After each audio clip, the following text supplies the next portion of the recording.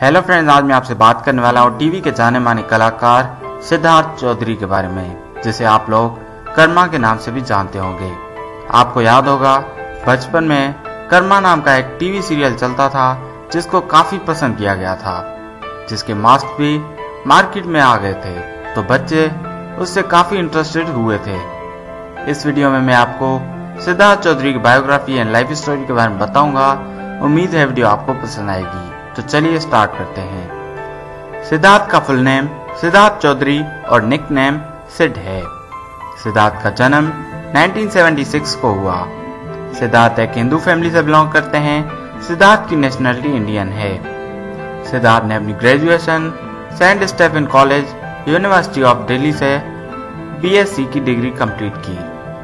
अपनी graduation complete करने के बाद वो 1998 से लेके 2000 तक वो न्यू दिल्ली के टीवी चैनल पर जर्नलिस्ट की जॉब करते रहे, जिसके बाद 2000 में आए टीवी सीरीज़ आकाश में उन्हें काम करने का मौका मिला।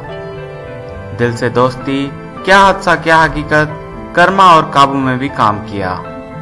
सिद्धार्थ चौधरी ने बॉलीवुड पॉपुलर मूवी डॉन में भी काम किया है।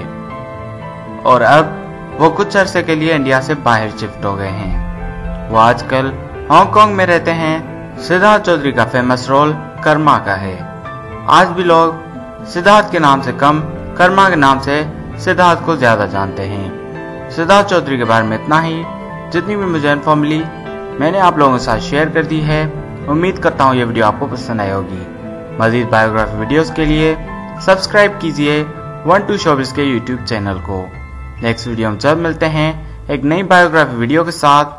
Take care friends Goodbye.